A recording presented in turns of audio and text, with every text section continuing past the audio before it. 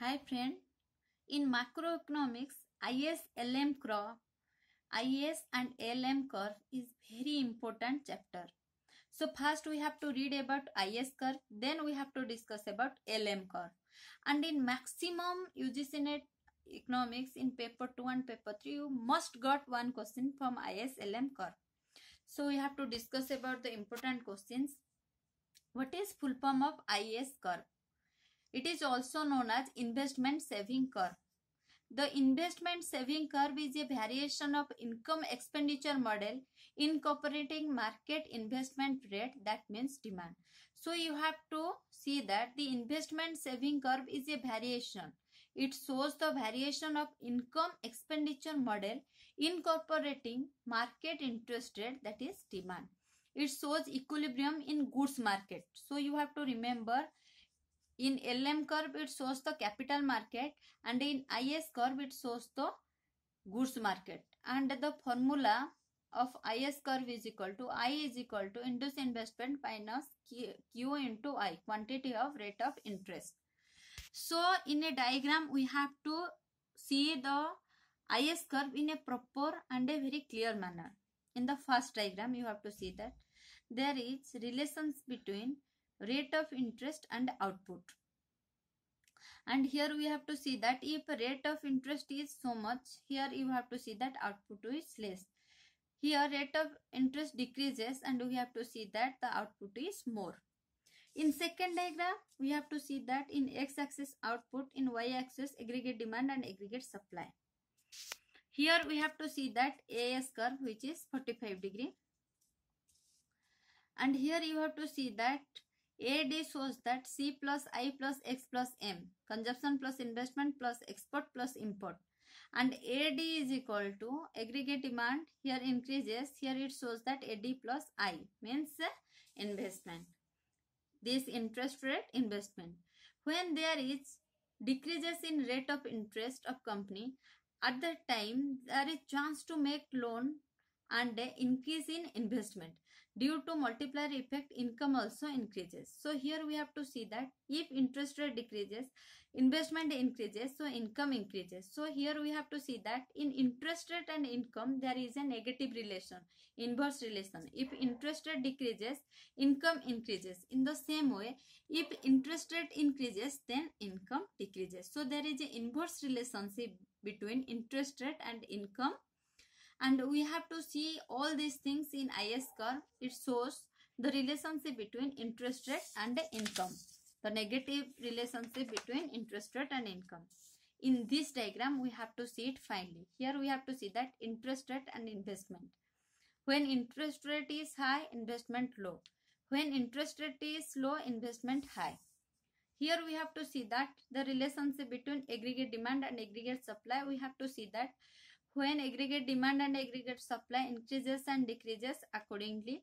And here we have to see that equilibrium point 1 and equilibrium of point 2 equilibrium it is eh, we said it the point of equilibrium because it is the cross. Here we have to see that aggregate demand curve got the aggregate supply curve. Here aggregate demand curve 1 aggregate supply curve so that it is equilibrium point. According to this equilibrium, we have to see the last and the final IS curve. How we have to make out or create IS curve. Uh, here IS curve shows the interest rate and output. Here we have to see that when interest rate is high, we have to see that output is less. When interest rate is less, so what we have to we have to make more investment and we have to make more production. So when we have to join these two equilibrium point we have to got is curve. So this curve is known as is curve. Then we have to read about steepness and flatness in the is curve. Steepness and flatness in the is curve. First you have to see this both diagram. This one is a steeper and this one is a flatter one. This flatter and steeperness of this is curve we have to see it it depends on two reasons. First reason, elasticity of investment according to the demand curve. When investment demand is more elastic to the change in the rate of interest, then the investment demand curve is relatively flat. Therefore, IS curve is also flatter and vice versa. They told that when investment demand is more elastic to change in the rate of interest, when rate of interest change and investment demand also change, then the investment demand curve is relatively flat. Therefore, IS curve is also flatter and vice versa. And the second reason is value of multiplier value of multiplier we have to know that when there is change in income we have to see that k into change in investment so when we have to make investment we have to got more as much as investment we have to make that much of income is there. So there is a positive relationship between investment and income. Higher the value of multiplier flatter the IS curve. And lower the value of multiplier steeper the value of curve. So that two regions are there. Elasticity of investment demand curve and um, value of multiplier. According to this there is steepness and flatness of is curve happen then we have to discuss about shift in is curve. A change in any of the exogenous variable means outer variable a change in any of the exogenous variable which determine either investment or saving will shift the is function. We have to see that first the former is curve is here and it shift to is1 only because we have to see that rate of interest is same but income increases. That's why only is curve income and output increases that's why only is curve shift from here to here so here the rate of interest being same is curve shift because of the autonomous expenditure for this reason is curve makes shift so for the shifting of IS curve, these are the regions. Maybe the autonomous investment, maybe there is change in government expenditure, maybe there is change in autonomous consumption, maybe autonomous export and autonomous import. When there is something change in it, we have to see that there is shift of IS curve. Last but not least, we have to know about the elasticity of the IS and LM function.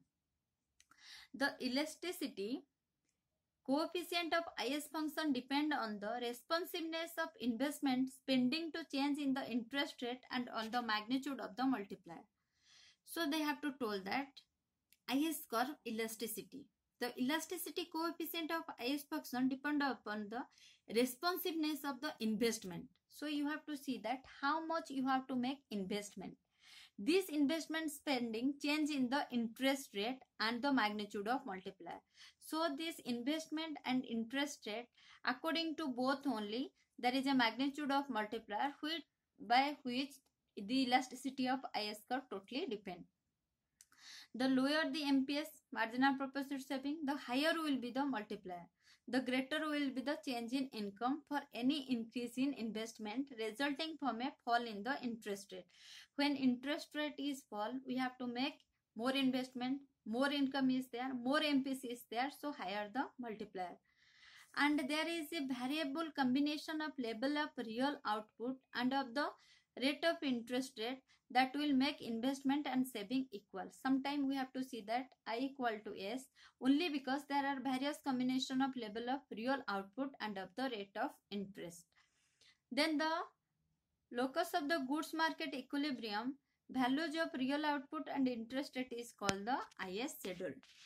Investment and saving schedule what we have to told one time maybe in 2013 or somewhere in paper 2 is schedule is there in question. So you have to see that.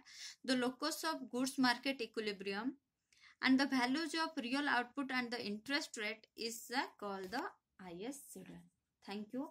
And you have to remember fully you have to go through each and every point of is curve which is very important. Thank you